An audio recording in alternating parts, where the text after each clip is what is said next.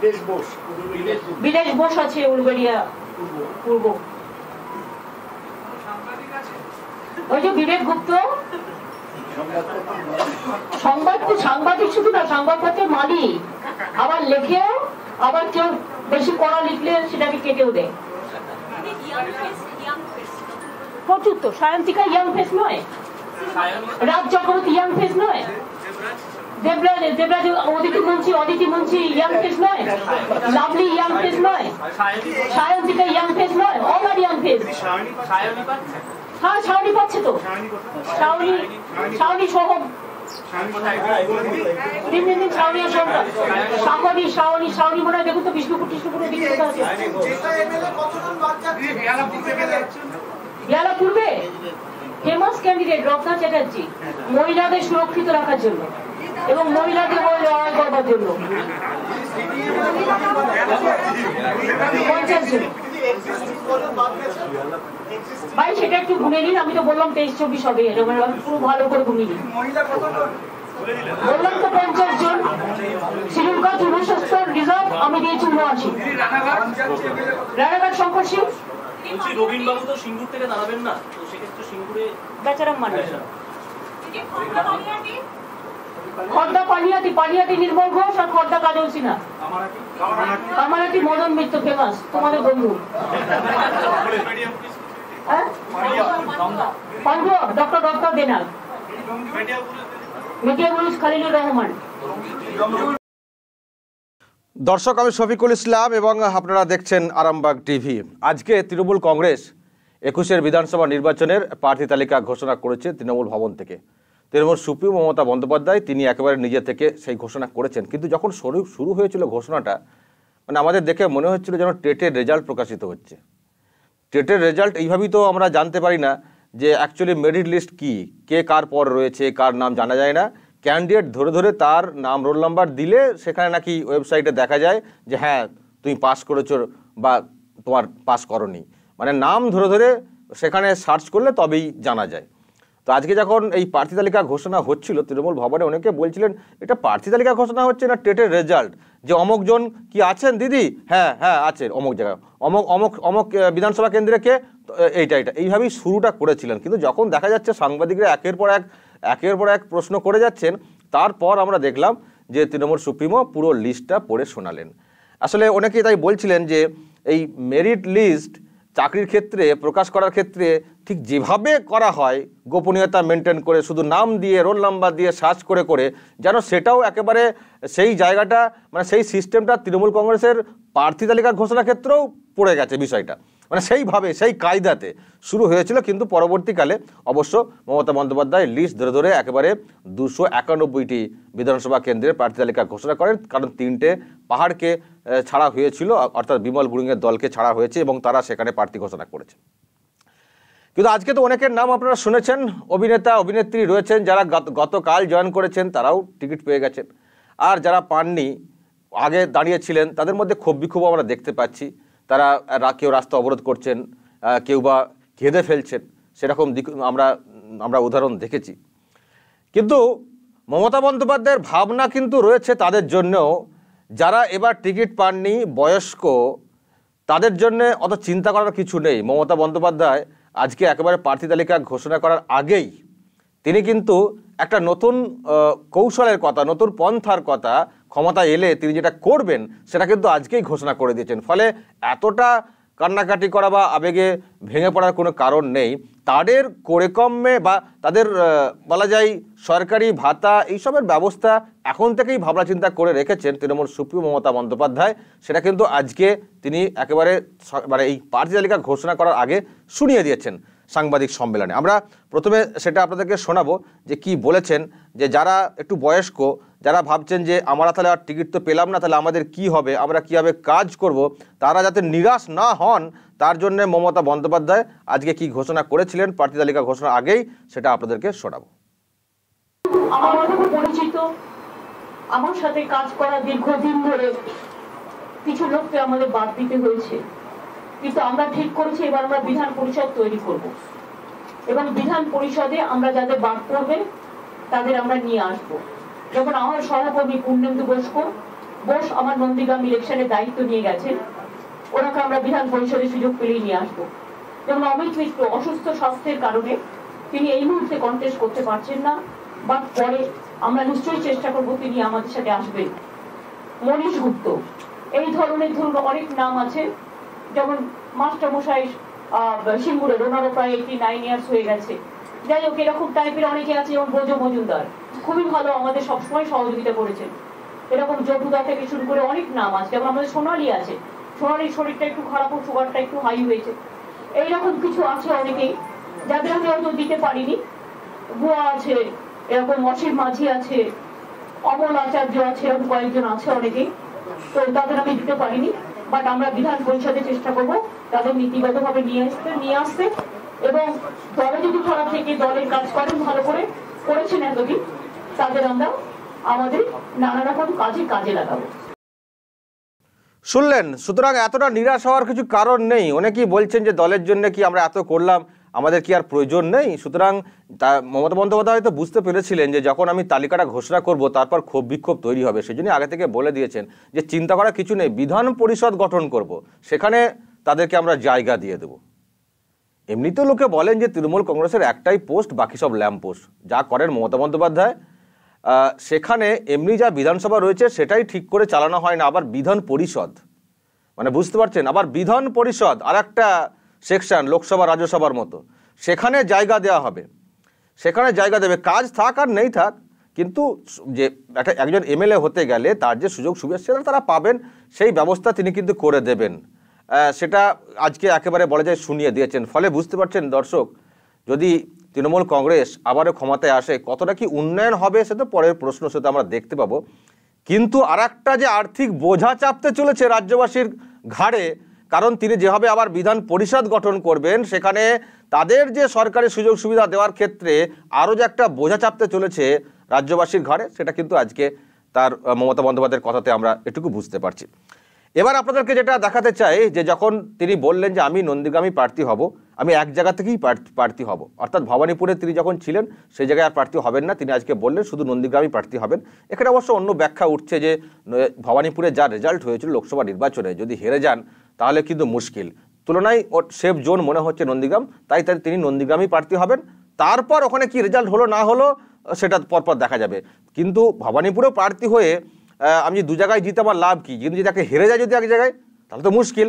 সেটাই ওনাকে বলছেন। সেই জন্যই হতে পারে যে ভবানীপুরটা একবারে বাতিল করে দিলেন। কিন্তু আজকে বক্তৃতার ক্ষেত্রে আরেকটা কথা কিন্তু বলেছেন। অরূপ বিশ্বাস যেখানে প্রার্থী হয়েছেন, একবার বলেছেন, আমিও কিন্তু ওখানে দাঁড়াতে পারি। আমি জানি না। নেগেটিভ কোনো রেজাল্ট যদি নন্দীগ্রামে হয় মমতা ব্যানার্জির ক্ষেত্রে, তিনি আবার অরূপ বিশ্বাসকে কলকাতার টালিগঞ্জের আসনে তাকে সরিয়ে আবার তিনি সেখানে প্রার্থী হয়ে, জয়ী হয়ে তার দল যদি ক্ষমতায় আসে তিনি আবার মুখ্যমন্ত্রী হওয়ার চেষ্টা করবেন কিনা এ নিয়ে কিন্তু প্রশ্ন উঠতে পারে। কিন্তু আজকে যখন তিনি এত কথা বলছিলেন সেই সময় এক সাংবাদিক তিনি প্রশ্ন করেছিলেন যে নন্দীগ্রামে আপনি প্রার্থী হচ্ছেন সেখানে তো আইএসএফের আব্বাস সিদ্দিকির দল আহ, এরকম একটা বলতে চেয়েছিলেন কিন্তু যখনই আব্বাস সিদ্দিকির নামটা শুনলেন কীভাবে চটে গিয়েছিলেন মমতা বন্দ্যোপাধ্যায় সেটা কিন্তু আপনাদেরকে একবার আমরা শোনাবার চেষ্টা করব। আব্বাস সিদ্দিকের নাম শুনেই কতটা চটে গেছিলেন আজকে মমতা বন্দ্যোপাধ্যায় এবং তিনি কি বলেছেন সেটাও কিন্তু আপনাদেরকে শোনাবার চেষ্টা করছি যে শুনুন তিনি কি বলেছেন आपके हवेली में अब्बास सिद्दीकी खड़ा हो गया ए, फिर भी ऐसा बात मेरे को मत बोलो तो ऐसे ऐसा आदमी को नाम मेरे को मत बोलो मेरे को दिमाग तो मत खाओ किसी को इंडिविजुअल नाम मत पूछो पॉलिसी डिसीजन पूछो नंदीग्राम से ভীষণ নামটা শুনেই ভীষণ কিন্তু রেগে যান এসব নাম জিজ্ঞাসা করতেই বারণ করছেন কিন্তু অন্যদিকে খবর যে আব্বাস সিদ্দিকও ম্যানেজ করার চেষ্টা হয়েছিল। যখন হয়নি, এখন একবারে হেড টু হেড লড়াই, সেখানে তার ক্ষেত্রে হয়তো একটু বিরক্তেরই এই প্রশ্ন আব্বাস সিদ্দিকি আব্বাস সিদ্দিকি নিয়ে যেভাবে এখন রাজ্যের রাজনীতিতে একটা আলোচনা চলছে এবং নন্দীগ্রামে বিরাট ফ্যাক্টর হয়ে দাঁড়াতে পারেন সেজন্য হয়তো এই নামটাই তিনি আর যেন শুনতে চান না। কিন্তু লড়াইয়ের কতটা তা এই আব্বাস সিদ্দিকির দলকে কতটা কায়দা করতে পারেন সেটা কিন্তু দেখার বিষয় রয়েছে। কিন্তু আরেকটা বিষয় যে আজকে যখন আলোচনা হচ্ছিল সাংবাদিক সম্মেলনে, তিনি কিন্তু আজকে ইলেকশন কমিশনকেও তোপ দাগেন এবং বলছেন যে দু হাজার উনিশে বা সেই সময় যাদেরকে দিয়ে লোকসভা নির্বাচন করা হয়েছিল তাদের কি আবার বেছে বেছে আনা হয়েছে। এটা প্ল্যান, গেম প্ল্যান। গেম প্ল্যানটা কোন জায়গায় আমাদের একটু বুঝতে অসুবিধা হচ্ছে, তার মানে কি বলতে চাইছেন যে লোকসভাতে যে রেজাল্ট হয়েছিল সেটাও কি কমিশনের গেম প্ল্যান ছিল? বিজেপির এত উত্থানের ক্ষেত্রে?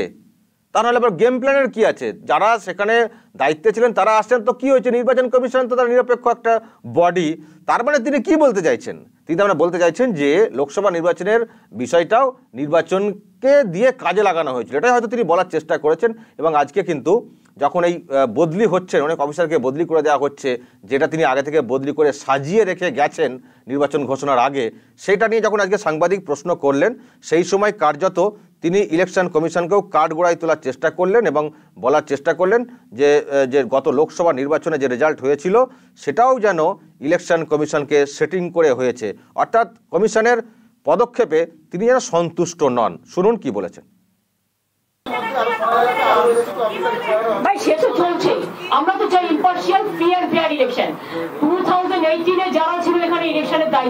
সেই লোকগুলোকেই বেছে বেছে নিয়ে আসা হয়েছে for what reason why they are not change If everything is changed, why they are not changed? Why the same officers?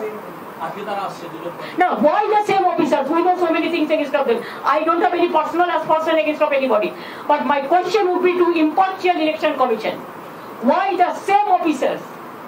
Why the same people who trusted, were trusted more than even RSS is not trusted there? Like that. They are not that bad. At least I can tell. So, I am telling you, they are the worst.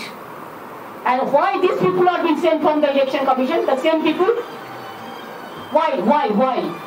This would be my question. And this time I'm telling you, we are very aggressive and we will fight out our battle till the end. And if they think that they are aggro, they are aggressive policies, they misuse their policy, they abuse us, they accuse us, they take action against us, we don't care. We dare only the people. We respect election commission, but our request would be that don't play the game with the BJP hands. Play the game with the people. People বুঝতে পারলেন যে ক্ষোভটা তিনি কিন্তু আজকে প্রকাশ করলেন election কমিশনের নিরপেক্ষতা নিয়ে কার্যত প্রশ্ন তুলেছেন এটুকু কিন্তু বলা যায় কিন্তু বিরোধী দল যারা যারা বিরোধী প্রার্থী তাদের সম্পর্কেও আজকে কিন্তু তার ভাষাতে তিনি যেভাবে বলেছেন যেভাবে ওয়েলকামটা করেছেন, সেটাও কিন্তু আপনাদেরকে শোনাবো। কারণ যখন বিরোধী দলকে বেধার চেষ্টা করেন, নতুন নতুন ভাষার, নতুন নতুন ভঙ্গির কিন্তু আমদানি করেন মমতা বন্দ্যোপাধ্যায়। আজকেও তিনি সেরকমই করেছেন। আপনাদেরকে শোনাবো যে বিরোধী দল সম্পর্কে, বিরোধী ক্যান্ডিডেট সম্পর্কে আজকে মমতা বন্দ্যোপাধ্যায়কে যখন প্রশ্ন করা হয়, তিনি কি ধরনের উত্তর দিয়েছেন, সেটাও কিন্তু আপনাদেরকে আমরা শোনাতে চাই যে কি বলেছেন মমতা বন্দ্যোপাধ্যায়। সিটে যারা আমার বিরুদ্ধে লড়াই করছেন তারা দীর্ঘায়ু হোক তাদের দুশো বছর করে বয়স হোক তারা খুব মোটা মোটা হোক তারা ভালো ভালো খাক তারা সুন্দর থাক সুস্থ থাক যেন কোনো রোগে আক্রান্ত না হয় তাদের পরিবার পরিজন সব ভালো থাক। আর আমি যেন একটু রোগা হই। সবাই মোটা মোটা হয়ে যান আমি যেন একটু রোগা হয় এরকমই একটা বলার চেষ্টা করলেন মমতা বন্দ্যোপাধ্যায় তার ভঙ্গিতে। কিন্তু এবারের নির্বাচনটা কি টাফ হবে, খুব টাফ হবে, এই প্রশ্ন কিন্তু আজকে রাখা হয় মমতা বন্দ্যোপাধ্যায়ের কাছে। সেই সময় তিনি কি ধরনের মন্তব্য করেছেন সেটাও কিন্তু আপনাদেরকে আমি শোনাবো। যখন প্রশ্ন করা হয় সাংবাদিকদের তরফ থেকে যে এবারের নির্বাচনটা তিনি কি ভাবছেন, কতটা টাফ হতে পারে, সেই সম্পর্কে তার কি বক্তব্য, সেটাও কিন্তু আপনাদেরকে আমি শোনাবো।